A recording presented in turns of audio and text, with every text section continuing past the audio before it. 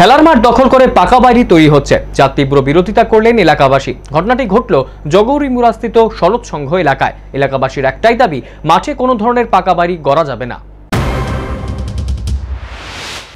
খেলার মাঠ দখল করে কে বা কারা পাকা বিল্ডিং তৈরি করে চলেছেন। ঘটনা জগহরি মুরাস্থিত শরৎ সংঘের মাঠকে ঘিরে। রাজ্যের ফুটবল ইতিহাসে শরৎ সংঘের অজস্র অবদান রয়েছে। এই মাঠে খেলে এমন অনেক ফুটবলার জাতীয় দলের হয়েও খেলার যোগ্যতা অর্জন করেছেন। বর্তমানে এই মাঠকে নিজেদের ব্যবসার খাতিরে কিছু স্বার্থান্বেষী লোক তাতে পাকা বিল্ডিং গড়ে তুলছেন। এর বিরুদ্ধে বুধবার তীব্র প্রতিবাদ গড়ে তুললেন শরৎ সংঘের এলাকাবাসীরা। তাদের মাননীয় মুখ্যমন্ত্রীর কাছে একটাই আবেদন, তাদের খেলার মাঠকে যাতে কোনোভাবেই কেউ নষ্ট করতে না পারে। এই মাঠটাতে ছোট ছোট শিশুরা খেলাধুলা করে, প্রবীণরা সন্ধ্যায় হাঁটেন। পাশাপাশি এই মাঠে বরাবরই বিভিন্ন ইভেন্টে টুর্নামেন্ট হয়ে থাকে। তবে এই মাঠকেই এখন ব্যবসার জন্য ব্যবহার করতে উঠে পড়ে লেগেছে কিছু লোক। যার তীব্র বিরোধিতা করলেন গোটা এলাকাবাসী। এই নিয়ে একজন এলাকাবাসী বলেন, কোনোভাবেই এই মাঠকে নষ্ট করতে দেওয়া যাবে না। গৌরীমুড়া অতি দুঃখের সহিত আজকে বলতে হইতেছে যে আমরা এখানে প্রায় চল্লিশ, পাঁচচল্লিশ বছর ধরে এই মাঠের মধ্যে খেলাধুলা করি, জন্মের পর থেকেই। তো এখানের মধ্যে এমন প্লেয়ারও আছে, এখান থেকে খেলাধুলা করে ইন্টারন্যাশনাল খেলাধুলা করেছে ন্যাশনাল লেভেল করেছে এখানেও আছে ন্যাশনাল লেভেল করেছে এই মাঠের মধ্যে। কিন্তু কিছুদিন ধরে দেখছি আমরা এখানে টিনের বেড়া দিয়ে ভিতরে বিয়ে বাড়ি ভাড়া দিয়েছে বিয়ে বাড়ি ভাড়া দিয়ে তারা পাক্কা বিল্ডিং করে নিচ্ছে। তো আমরা কারা করছে এখন যে সঙ্গে সেক্রেটারি প্রেসিডেন্ট তারা তারা নেতৃত্বে ক্লাব কর্তৃপক্ষ। ক্লাব কর্তৃপক্ষ এইসব ব্যাপারে প্রশ্রয় আছে। তারা ভিতরে কনস্ট্রাকশন করতে দিতেছে। আমরা এলাকার পক্ষ থেকে আমরা এলাকাবাসী।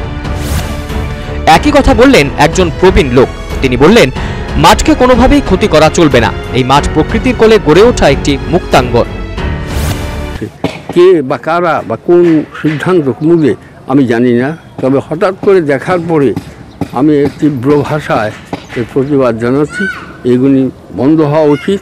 এগুলি এখান থেকে পরিষ্কার হওয়া উচিত। খেলার মাঠে এবং ভ্রমণ পিপাসুদের মাঠে এবং বাচ্চাদের এই এলাকার একটু মুক্ত বায়ু নেওয়ার জন্য আমাদের এই পরি- পরিশ্রমটা যেন সার্থক থাকে। একজন মহিলা স্পষ্টভাবে আবেদন করলেন মুখ্যমন্ত্রীর কাছে। যেহেতু এই অঞ্চলটা মুখ্যমন্ত্রী বিপ্লব কুমার দেবের তত্ত্বাবধানে রয়েছে, তাই এর জন্য মুখ্যমন্ত্রীর দৃষ্টি আকর্ষণ করলেন এলাকাবাসীর হয়ে তিনি।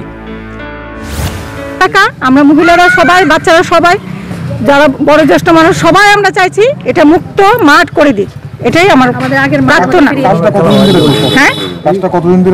কাজটা তো আজকে করোনা ভাইরাস যে শুরু হয়েছে তখন একটা বিয়ের প্যান্ডেল হয়েছিল। ব্যারিকেড দিয়েছে। তারপরে আপনারা চলুন না আপনার আমাদের সঙ্গে চলুন এখানে বিল্ডিং করা হচ্ছে। ব্যবসা করার হলে অন্যভাবে ব্যবসা করুক কিন্তু আমাদের খোলা জায়গাটাকে কেন খোলা জায়গাটাকে কেন নেবে? বাচ্চারা খেলাধুলা করে আমরা মেয়ে লোকরা হাঁটি বা কা- পাশে পাশের বাড়ির কোনো বিয়ের অনুষ্ঠান হলে এক দুদিনের মধ্যে ভেঙে নেয়।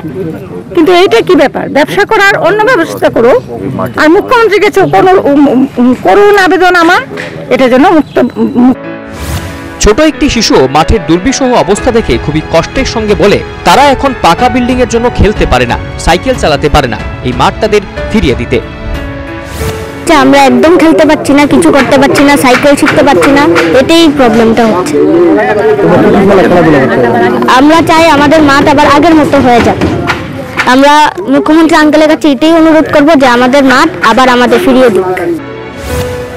এইভাবে কোনো খেলার মাঠ বেদখল হয়ে যাবে, এটাকে কোনোভাবেই মানতে পারছেন না এলাকাবাসী। তাদের দাবি একটাই, মাঠে কোনো বিল্ডিং করা যাবে না। Bureau report, news vanguard.